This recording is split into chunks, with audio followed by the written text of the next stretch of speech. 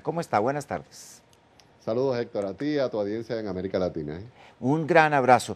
Estábamos hablando no hace poco con usted eh, mm, eh, de que um, a, Irán lo había sancionado o lo, lo había condenado Naciones Unidas en una nueva resolución. Ahora nos enfrentamos a una situación completamente distinta. El gobierno, el Congreso de Estados Unidos toma la decisión de expedir una ley ordenándole al Departamento de Estado intervenir en las relaciones de Irán con ciertos países de América Latina. ¿Eso cómo se puede leer? ¿Eso qué es?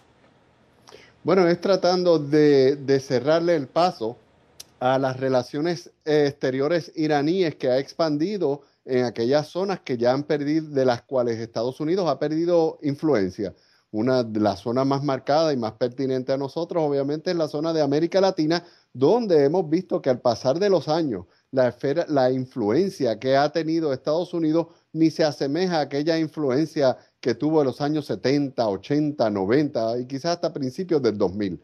Vemos una América Latina con mucho más independencia de criterio, con mucho más eh, eh, envuelta eh, con Oriente, sea Oriente próximo, el Medio Oriente o el lejano Oriente, en sus relaciones comerciales, en sus relaciones políticas. Muy frecuentemente vemos diplomáticos de la India, diplomáticos chinos, diplomáticos de Medio Oriente, incluyendo a Irán, visitando ah, y haciendo negocios y estableciendo nuevos eh, horizontes con nuestras comunidades en América Latina. Y a eso Estados Unidos quiere cerrarle el paso, pero pronostico que no será muy fácil, porque en la medida que Estados Unidos a su vez no tenga algo que ofrecer a América Latina, eh, eh, a cambio de que cierre el paso a nuevos comercios, a nuevas relaciones, eh, pues no creo que será tan fácil de convencer una América Latina cada vez más autónoma y más independiente en sus relaciones bilaterales con Estados Unidos.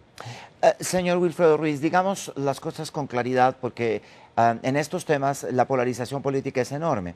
¿En qué sentido es un peligro real la influencia de Irán en la región, en América Latina? Que Irán haga negocios aquí, que venga, que visite, que aparezca Ahmadinejad en ciertos países ¿En qué consiste el peligro que él significaría? Bueno, el peligro es que se tornen las sanciones estadounidenses y de Europa en inoperantes, que si las, los mercados que tuvo, por ejemplo, eh, eh, el, área de las exportaciones de crudo eh, de Irán para con Europa, si le encuentran nuevos mercados, ya sea en, en, el Oriente Lejano o en América Latina, pues las sanciones que le ponga Estados Unidos o Europa a Irán se tornan inefectivas. Ese es el peligro mayor. Cualquier otro peligro de intercambio cultural, intercambio científico, intercambio comercial, eh, de ninguna forma perjudica a América Latina. Eso es como objetivamente se debe ver eh, eh, las relaciones de Irán con América Latina.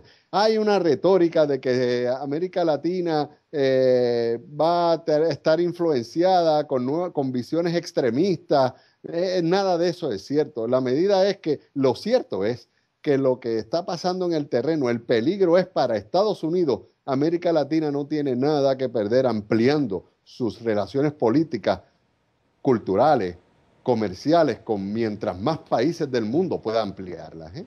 Señor Ruiz, bueno, pongamos esto también en perspectiva. Es verdad, sabemos que Venezuela, Nicaragua, Ecuador, Bolivia y hasta Argentina están teniendo nuevas relaciones económicas, de energía, de intercambio con Irán. Hasta ahí es, la situación que usted ha pintado. Pero quiero hablarle de un caso particular. Por ejemplo, el presidente Chávez se ha, mm, digamos, pronunciado con toda claridad en situaciones que involucran a Irán con respecto al tema nuclear, a, Siria, por ejemplo, la declara su aliada e interviene y, ofrece su solidaridad. Entonces, no se trata solamente de una cosa comercial, digamos, ya Venezuela empieza a ser un jugador también en esos, en esos escenarios. ¿Eso significa algo realmente en el equilibrio eh, geopolítico del mundo, una Venezuela aliada de Irán y de Siria?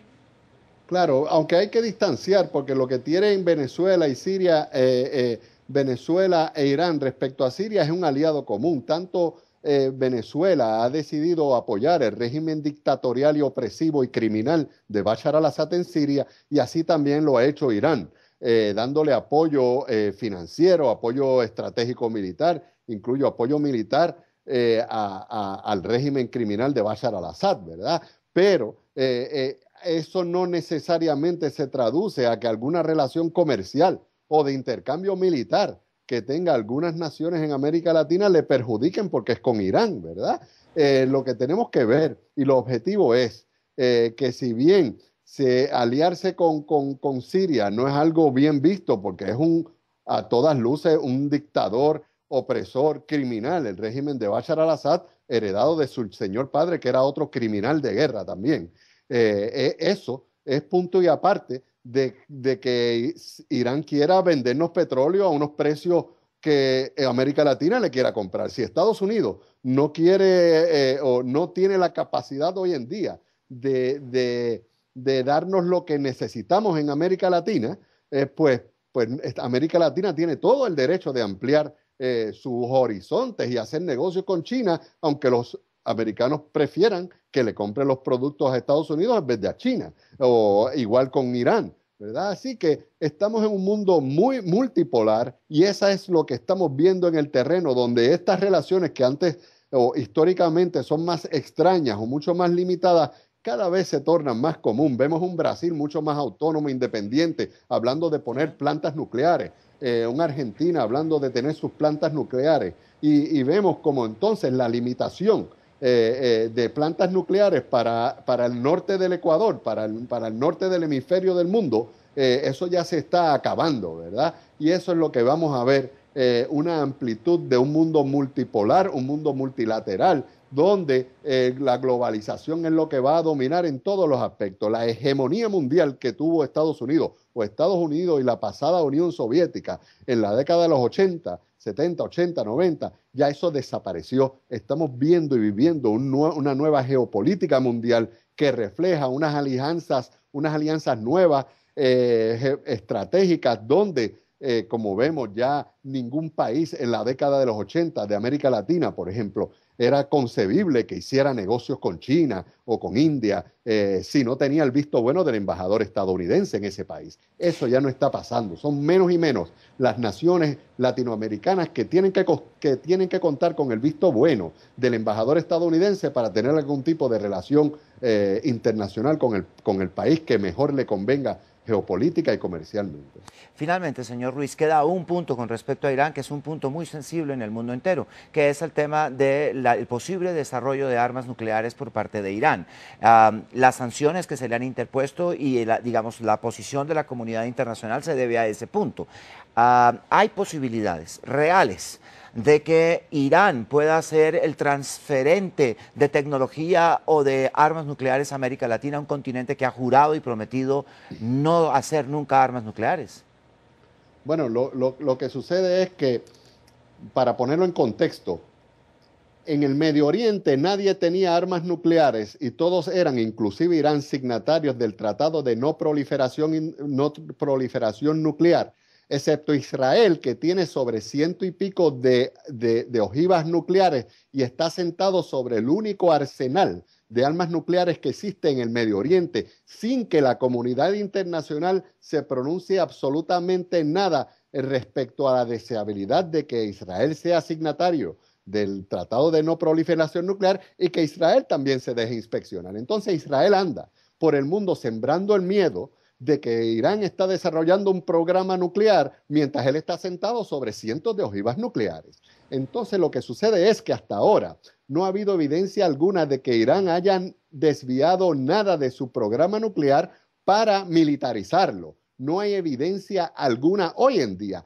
Lo que se está hablando es de que Irán está eh, poniendo su capacidad o moviéndose en su desarrollo del programa nuclear civil a un punto donde podría estar capacitado de desviarlo a su programa militar. Pero la realidad de hoy en día y en la que coinciden todas las ramas de inteligencia mundial es que hoy en día, hoy, mientras estamos conduciendo este programa, no hay nada del programa nuclear iraní que se haya desviado para el programa bélico. No existe esa evidencia. Y ante ese cuadro, lo que debe hacer el mundo y la comunidad internacional y los organismos internacionales para que no pierdan credibilidad es actuar objetivamente y no selectivamente sobre los países en desarrollo, los países tercermundistas, exigiéndole unas cosas que ellos no tienen. Todos los países de Occidente y desarrollados de Europa y Estados Unidos desarrollan las plantas nucleares que les venga en gana pero cuando Brasil habla de tenerlo, eh, eh, eh, desarrollar un programa nuclear, cuando cualquier otro país en América Latina habla de desarrollar un programa nuclear, cuando Irán está estableciendo un programa nuclear y plantas nucleares, entonces vemos como la comunidad se lanza a ponerle escollos y a ponerle un escrutinio del que ellos mismos ninguno tiene y del que ninguno de ellos está sujeto a. Entonces, esa, esa, esa desigualdad respecto al trato es lo que miran con mucha desconfianza los países en desarrollo o países tercermundistas, ¿verdad? ¿Por qué Israel puede criticar las aspiraciones y el desarrollo del programa nuclear iraní si está sentado sobre un arsenal de armas nucleares de donde el mundo no dice absolutamente nada, ni te solicita ni, ni permites que sea eh, eh, inspeccionado, ni en ninguna forma, ni tan siquiera admitido públicamente cuando ya saben todas las agencias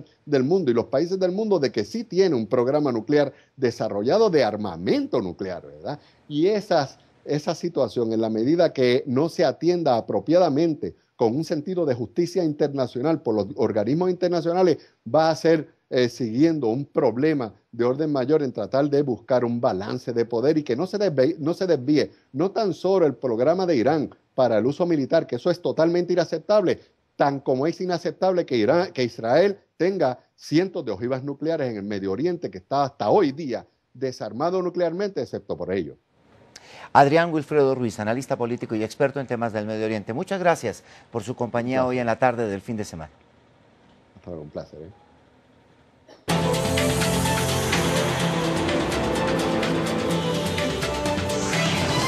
La